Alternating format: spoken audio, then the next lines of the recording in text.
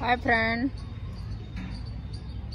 welcome to my daily vlog Ruby Thakur channel अभी मैं अपने गमलों के लिए ऑर्गेनिक खाद वगैरह लेने आई हूँ, जिससे कि हमारा प्लांट्स प्रॉपर ग्रो करे। उसके लिए आप देखिए नीम केक। नीम केक जिससे कि पौधे के जड़ में कीड़ा नहीं लगेगा। यहाँ पर देखिए केचुआ खाद भी है, जो कि बहुत हेल्दी है, नीम खल का भी है। क्योंकि पौधे मर जाते हैं क्यों? क्योंकि उसके जड़ में है ना, कीड़ा लग जाता है। तो आप देखिए, ये ऑर्गेनिक खाद है। ऑर्गेनिक खाद के साथ साथ केचुआ का भी, इसमें केचुआ खाद भी है। इसके लिए मैं अभी आई हूँ। ये देखिए मनी प्लांट के लिए मैस्टिक लेने के लिए। मनी प्लांट प्लांट को सपोर्ट का ज़रूरत पड़ता है, क्योंकि उसकी बेल होती है। इसके लिए ये मैस्टिक और कुछ गमले भी कम हो गए हैं। तो ये देखिए, ये बड़ा सा है। एक ट्रे टाइप में, इसमें आप पौधे लगा के, जैसे पिटूनिया आप चार पाँच लगा सकते हैं एक साथ। पिटूनिया इसमें लगा लिया। और बहुत ही अच्छा पूरा बास्केट हो जाएगा फुल। और ये बड़े गमले बड़े गमले में आप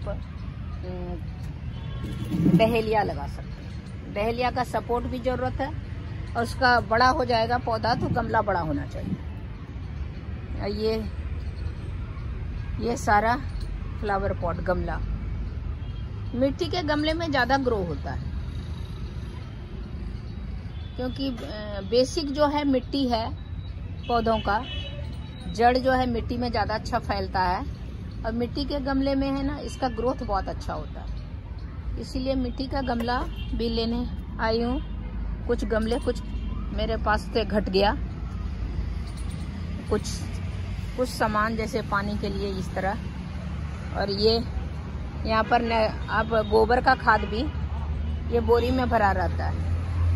तो पचास रुपया बोरी ये खाद मिलता है, जिसमें मिट्टी और गोबर मिक्स रहता है। तो आपको अगर चाहिए तो आप किसी भी नर्सरी से ले सकते हैं, ये भी अच्छा है पौधों के लिए।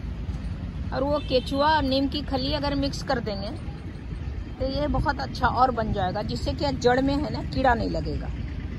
ये खाद तो है, ये देखिए, गोबर का दो तीन साल पुराना गोबर है, उस, उसका है उसमें मिट्टी मिला दिया है। तो ये खाद मैं यहाँ से ले जाती हूँ। ये देखिए। बोरी में डला हुआ। ये ले जाती हूँ।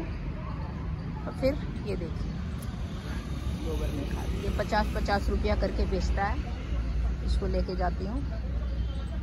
और ये देखिए, एक ये प्लांट हमने लिया। क्योंकि ये बहुत सुंदर मेरे को लग रहा था। और खाद वगैरह लेके गमले लेके जाऊँगी। ये गमले लेके जाऊँगी।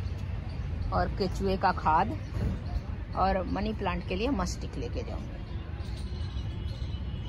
तो आज का हमारा नर्सरी में यही खरीदने का है प्रोग्राम। कि मस्टिक, ऑर्गेनिक कंपोस्ट, खाद बर्मी कंपोस्ट, केचुए, केचुआ का भी है, गाय का गोबर का भी है। इसको मिला के ऑर्गेनिक बनाया। तो ये बहुत हेल्दी रहता है। साथ में इसमें गोबर का गोबर का तो रहता है इफ़ेक्ट तो गोबर में कीड़े हो रहने का होने का ज़्यादा चांस होता है। तो इसीलिए इसमें है ना, नीम की खली, नीम केक का भी पाउडर आप डाल देंगे तो उससे भी बहुत हेल्दी रहता है। तो आज बस इतना ही। मिलते हैं अगले वीडियो में। तब तक के लिए नमस्कार।